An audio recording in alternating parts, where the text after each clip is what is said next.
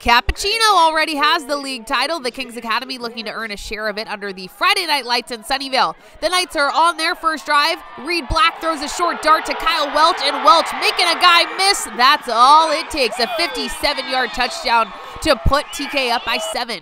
Cap on its first drive here, facing fourth and long. Quarterback Bobby Gomez with some time before escaping and slinging it to Lucas Zayac, who makes a great grab for the touchdown. A missed point after makes it 7 to 6.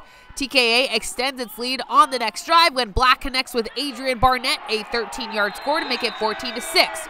Reid is not done making it rain on this cool night. He drops it right into the breadbasket of Kyle Welch, an absolute dime of a pass. Half a day, Reid Black, the senior night, with five touchdowns on his senior night.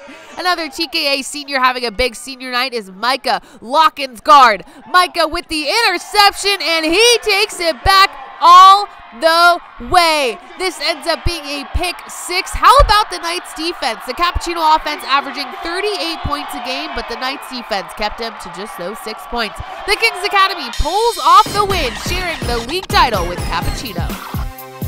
Thanks for watching. Please join our YouTube memberships to get early access to highlights and our podcast, Covered Cal-Hi. You'll also be able to see full game videos and vote for the Players of the Week. So click join and make sure to tune in every Sunday night at 6 p.m. on NBC Sports California. We'll see you at the games.